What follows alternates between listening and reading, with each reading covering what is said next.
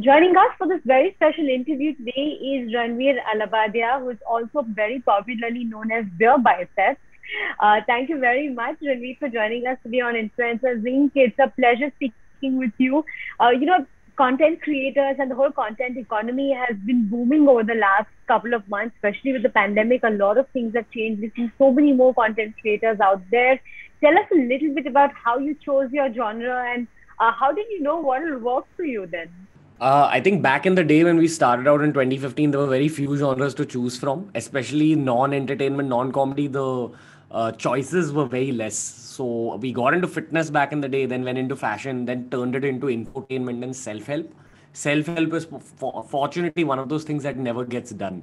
Like everyone's life's journeys always include some form of self help, be it yoga or meditation or personal finance or whatever. Excuse me. So uh, then we just kept continuing down that journey.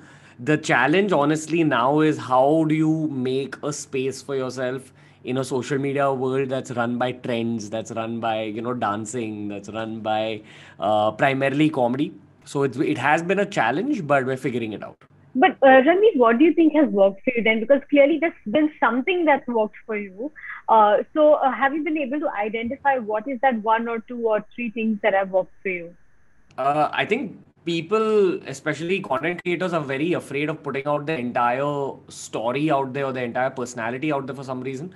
That's never been an issue for me, and I think that's worked in my favor. Uh, people like connecting with another human being, irrespective of the form of content that they're giving you. The second thing I'd definitely say is uh, just valuing your users' time, your viewers' time. So if they're watching a six-minute video, I want to make sure that every 15 second bit of that video is worth their time. That's a strategy we followed right from the start and uh, that's a strategy we follow even today. Uh, and probably the third thing I, just being very observant about what's changing in the world and also what's changing in your own life because only when you go through something and you really put it out for the audiences. Now be it comedy or self-help that formula is the same that you have to go through something to really put it out in an authentic way you know, one space that you've explored, which which not a lot of content creators have explored, is the podcast space, and that space has been growing rapidly, and it's perhaps going to be the category of the future. So, tell us a little bit about, uh, you know, what worked for you in the podcast space, and why did you choose podcast as a means uh, out there? Uh, I'll start with the second question first. The podcast was chosen because it's easy to create, and I wanted to uh, basically switch off one of my channels. So my team came up to me and said that you know don't switch it off, just do the easiest form of content. So I, I thought in my life, okay, I'm having great conversation because of my career. I'm also a business person on outside of YouTube. So I thought that because of this world, I'm learning so much and having so many great conversations. Let's just record it and put it online.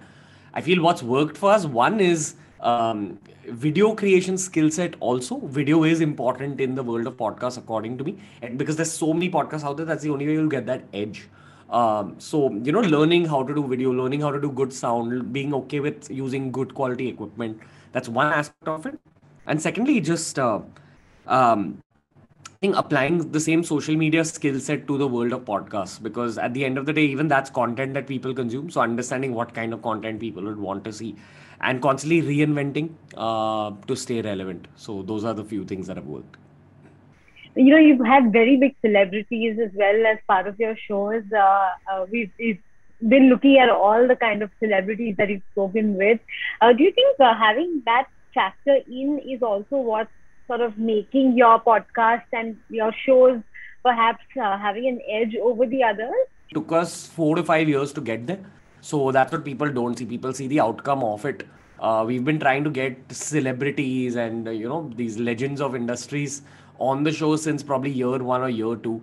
I remember going on a date in my first year, second year of Beer Biceps, and someone had asked me, "What do you want to do?" And I'd, I'd pitched this idea of a podcast with celebrities, and that person had laughed and said, "No, you shouldn't start thinking about getting celebrities. You should start thinking about getting common people first and then build up to it. But I always had that goal. So we skipped all the common people podcasts and we went straight up to it. But it took four to five years to get to that point. So it's a factor and it's a factor I'm proud of. Right. Uh, you know, when you talk about the whole creators economy, there's also this concept of monetization, and a lot of creators out there, uh, brands also understanding that paid partnerships and uh, having influencers on the list is becoming very important. So, according to you, uh, how easy or difficult is it uh, to get uh, to be able to monetize your content out there? Um, you know, the brand world pays you well, honestly. I feel we're going to continuously see a rise in influencer marketing spends up till maybe 2026, 2027 around, or maybe even beyond. And I say that because the world is gradually moving to the metaverse, as everyone knows now. Uh, and that's where things are going to really change up, and influencers will have to adapt to that world. But up till that point, we are going to see influencer marketing continuously grow. Now, that's the obvious one. The issue to get into that realm of money is that you have to again work up till a certain point. You have to gain a certain kind of following. That's when you unlock uh, brand associations. But there are means of earning money which are opening up, especially for creators, uh, public speaking, creating your own products, selling your courses, owning equity in different startups. These kind of streams are opening up, consulting for other businesses. Uh, you know, especially if you're an infotainment creator who's an expertise in a certain subject. Um, I feel the long game is fantastic. In the short term, it can be fantastic if you've unlocked the brands. And if you're just starting out, it's very, very difficult. So the game is to get past that very, very difficult phase and then into the glory. Right. Uh, you know, I want to ask you one question on, in terms of your own content and how you see yourself evolving. You've been there, you've done that, you've achieved what you have at this point in time. But maybe uh, two years down the line, three years down the line, where do you see your content and how do you see your content evolving? Um, you know, I honestly around a year or two ago, I stopped uh, kind of projecting into the future because I've realized how random my world is in terms of social media.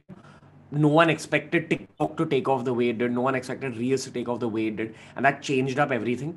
So at this point, I've stopped kind of uh, kind of drawing projections. But what I will say is that I want to get into the realms of fiction eventually, uh, creating fiction like film direction, directing shows, etc and parallelly the businesses are growing uh, through the medium of uh, you know uh, the distribution of uh, beer biceps and uh, ranveer allahbadia which are two online brands. So the businesses will keep growing and if they grow up to a certain point and start dictating my future then i don't know. Then things might get shaken up. But i'm at a very random phase of my own career. So at this is one of the first uh, moments in my career where i've not been able to really predict where i'm going Okay. Uh, all right. On that note, we're going to do a quick rapid fire with you, Ranveer. Are you ready? Yes. Okay. Sure. Uh, who are your top three favorite content creators at this moment? At this moment, uh, I found a Virat Sheth who's making incredible content on Twitter.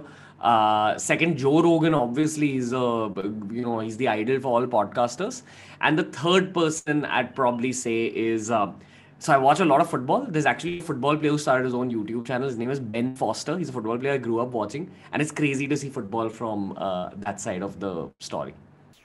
Right. Uh, one celebrity that you always wanted to bring on your show and still haven't done it so far? Uh, Kohli, for sure. Uh, been on my list for a very long time, and Cristiano Ronaldo, probably two, three years down the line, maybe. Let's see. Okay, if not beer biceps, what would your handle be called? Ah, I, I wish it could be called Ranveer Allahbadia itself. We we we have rights to the Hindi uh, channel which is called Ranveer Allahbadia, but I've I've contemplated dropping the name Beer Biceps so much over the years because I don't drink anymore. I'm not into bodybuilding anymore. But it's just a name that's stuck around. Okay. Uh, if you could be anything other than a creator, what would you be? Uh, you know, I I'm doing the other. I'm doing the plan B itself, which is startups. So uh, nothing, nothing other than that. If I couldn't be a content creator or a startup person, I'd probably be a monk. Like I'd just go away to the Himalayas, shave my head, shave my eyebrows. Okay, I know uh, beer biceps doesn't fit with you, but uh, since you're called beer biceps, a quick tip on fitness. Anything handy? Uh, yeah. Uh, in terms of fitness, just find an activity you enjoy. It could be dance, football, cricket weight training, MMA, whatever it is, but stay consistent with that activity and but have fun doing it. Okay, uh, your preferred platform, Instagram or YouTube? YouTube. Okay, uh, what was your favorite subject in school as a child? History. Uh, what is your favorite Instagram reel trend at the moment? At the moment, um, uh, you know any any of the school transition reels. I watch a lot of sports reels. My reels are full of sports. So the moment the transition happens there's a sick goal or a sick pass that happens in my reels. So i'd probably say okay uh, three adjectives that perfectly describe your personality. Uh, positive uh, active and um, you know uh, uh, tough. Uh, and a final question: one motivational quote that, in your opinion, everyone should live by. Uh, do not ask for an easy life. Ask for the strength to endure a difficult one. On that note, uh, thanks very much, Ranveer, for joining us today on the Influencers Inc. It's been a pleasure speaking with you. Thanks so much for your time. Great talking to you. See you.